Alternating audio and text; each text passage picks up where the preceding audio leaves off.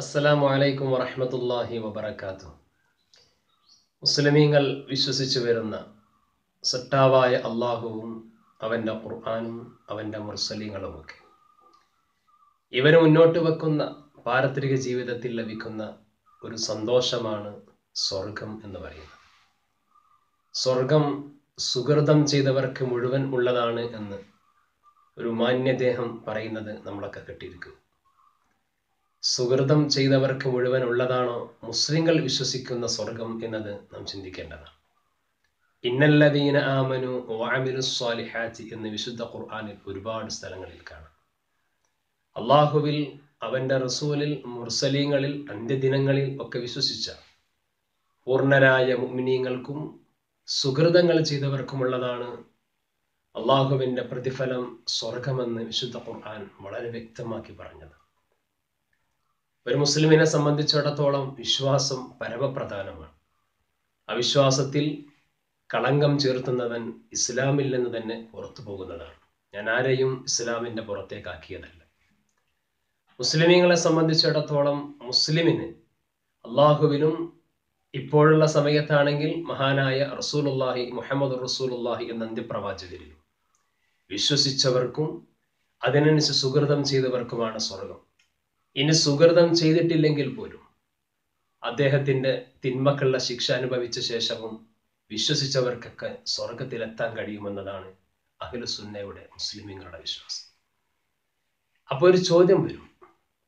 എന്റെ പ്രിയപ്പെട്ട ഇതര മതവിശ്വാസി സുഹൃത്തുക്കൾ ഒരുപക്ഷെ ചോദിച്ചെന്ന് വരാം ഇസ്ലാം ക്രൂരമാണ്. എന്റെ സുഹൃതങ്ങൾ ചെയ്ത മദർ തെരേസക്ക് അല്ലെങ്കിൽ അതുപോലെയുള്ള പറയപ്പെട്ടുപോയ എ കെ ജിയെ പോലുള്ളവർക്ക് എന്തേ സ്വർഗമില്ലാത്തത് ഒന്നാമതായി പറയാനുള്ളത് അവർ അള്ളാഹുവിൽ വിശ്വസിക്കാത്ത സ്ഥിതിക്ക് അള്ളാഹുവിന്റെ സ്വർഗം അവർക്ക് ആവശ്യമില്ല എന്നതും തന്നെയാണ്. മറ്റൊന്ന് എന്തുകൊണ്ട് ഞങ്ങൾ അങ്ങനെ ഒരു സ്വർഗത്തിൽ അവരെത്തില്ല എന്ന് പറയുന്നത്? ഒരു മനുഷ്യനെ സംബന്ധിച്ചിടത്തോളം അല്ലെങ്കിൽ സൃഷ്ടാവായ ഒരു റബ്ബിന്റെ ഒരു അടിമയെ സംബന്ധിച്ചിടത്തോളം. ഒന്നാമതായി അവൻ ചെയ്യേണ്ടത് സൃഷ്ടാവിനെ അംഗീകരിക്കലാണ്. സൃഷ്ടാവിനെ വണങ്ങലാണ്. ഈ പ്രപഞ്ചം മുഴുവനും സൃഷ്ടിച്ച് പരിപാലിച്ച് അവനെയും അവന്റെ ശ്വാസങ്ങളെയും അവന്റെ ശരീരത്തിനെയും ഒക്കെ ഘടന ചെയ്ത് ലോകത്തിനെ നിയന്ത്രിച്ചു കൊണ്ടിരിക്കുന്ന ഒരു സൃഷ്ടാവിന് ഒരു ശക്തിയെ അവന് മനസ്സിലാക്കാൻ കഴിഞ്ഞിട്ടില്ലെങ്കിൽ അവൻ ഉൾക്കൊണ്ടിട്ടില്ലെങ്കിൽ ആ ശക്തിയെ അവൻ വിശ്വസിക്കുകയും അംഗീകരിക്കുകയും ചെയ്തിട്ടില്ലെങ്കിൽ അവൻ അതിലും വലിയൊരു തിന്മ പിന്നെ ചെയ്യാനില്ല. അവൻ ചെയ്ത ഏറ്റവും വലിയ തിന്മ അള്ളാഹുവിനെ അംഗീകരിച്ചില്ല എന്നുള്ളതാണ്.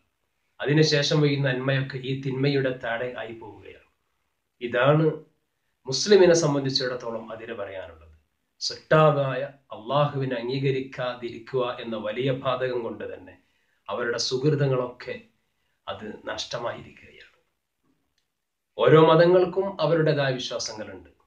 മുസ്ലിങ്ങൾ ഇതുപോലെ പറയുമ്പോൾ ഇസ്ലാം മാത്രമാണ് ശരിയെന്ന് പറയുമ്പോൾ ക്രിസ്ത്യാനികൾ അത് മാത്രമാണ് ശരിയെന്ന് പറയും എല്ലാ മതങ്ങളും പറയും.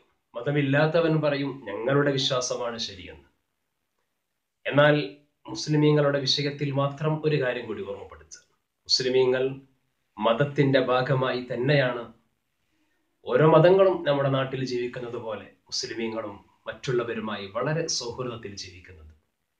തന്റെ അയൽവാസിയും തന്റെ കൂട്ടുകാരനും മുസ്ലിം അല്ലാതെയാകുമ്പോൾ അവനോട് മറ്റൊരു പുതിയൊരു നിയമം മുസ്ലിങ്ങൾക്കില്ല അവനോടും വളരെ അഥവാ അവനോടും എങ്ങനെ പുലർത്തണമെന്ന് ഇസ്ലാം പഠിപ്പിക്കുന്നുണ്ട് അത് സൗഹാർദ്ദത്തിന്റെ നിയമമാണ്. സ്നേഹത്തോടെ പെരുമാറണമെന്നാണ്. ഇവിടെ അടുത്തായി കേരളത്തിൽ നഷ്ടപ്പെട്ട മഹാനായ അത്തിപ്പറ്റ മൊഹിനീൻകുട്ടി മുസ്ലിയാർ ബഹുമാനപ്പെട്ടവരുടെ ജീവിതം മാത്രം ഒന്ന് പരിശോധിച്ചാൽ ഒരു മുസ്ലിം എങ്ങനെ എന്ന് ചോദിക്കുമ്പോൾ അത്തിപ്പറ്റയിലേക്ക് ചൂണ്ടാമായിരുന്നു. മഹാനായ ഉസ്താദിലേക്ക് ചൂണ്ടിക്കാണിക്കാമായിരുന്നു. റസൂലും ഖുർആാനും പറഞ്ഞ പോലെ ജീവിച്ച മുത്തബി സുന്ന എന്ന് പറയുന്ന ഒരു പൂർണ മുസ്ലിം എന്ന് നമുക്ക് പറയാൻ പറ്റിയിരുന്ന മഹാനായ ഉസ്താദ് അവർകൾ. ഉസ്താദിന്റെ അയൽവാസിയെ അൻപത് വർഷത്തോളം മുസ്ലിം അല്ലാത്ത അയൽവാസിയെ ആ കുടുംബത്തിനെ പോറ്റിയത്. വീട്ടിലേക്ക് ഭക്ഷണം വാങ്ങുമ്പോൾ അങ്ങോട്ട് കൊടുക്കും ആ വീട്ടിലെ രണ്ട് പെൺകുട്ടികളെ സ്വർണവും പണവും നൽകി കെട്ടിച്ചു. ആ വീട്ടിലെ കാര്യങ്ങളൊക്കെ നോക്കി നടത്തി. അവരെ കെട്ടിപ്പിടിച്ചു. അവരോട് ഒരുമിച്ച് ഭക്ഷണം കഴിച്ചു. ഒരു പ്ലേറ്റിൽ നിന്ന് മുസ്ലിമീങ്ങളുമായി ഒരുമിച്ച് ഉസ്താദ് ഭക്ഷണം കഴിച്ചു. ഇങ്ങനെയൊക്കെ ചെയ്തു. ഈ ഒരു സൗഹൃദം ഉസ്താദിന് ലഭിച്ചതും ഇസ്ലാമിൽ നിന്ന് തന്നെയാണ്. ഉസ്താദിന്റെ മാത്രം ഒരു പ്രത്യേകതയല്ല.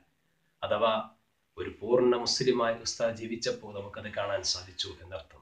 അത് ഉസ്താദ് സ്വന്തം ചെയ്തതല്ല ഇസ്ലാം ഉസ്താദിന് നൽകിയതാണ്. ഞാൻ പറഞ്ഞു വന്നത് ഇസ്ലാം മാത്രമാണ് ശരി. അള്ളാഹുവിൽ വിശ്വസിച്ചവന് മാത്രമാണ് സ്വർഗം എന്ന് ഓരോ മുസ്ലിം വിശ്വസിക്കുമ്പോഴും ആ വിശ്വാസത്തിന്റെ ഭാഗം തന്നെ മറ്റുള്ളവരോട് സൗഹൃദവും മുസ്ലിമിനുണ്ട്. അവർ മുസ്ലിം വിശ്വസിക്കാത്തവർ സ്വർഗത്തിലാണെന്ന് പറയുന്നത് ഭൂഷണമല്ല. എന്തുകൊണ്ട് ഭൂഷണമല്ല? സൃഷ്ടാവിനെ അംഗീകരിക്കാത്തവന് സ്വർഗമില്ല മുസ്ലിങ്ങൾ വിശ്വസിക്കുന്ന സ്വർഗമില്ല എന്ന് തന്നെയാണ് ഇസ്ലാമിന്റെ കാഴ്ചപ്പാട്. അസ്സലാമു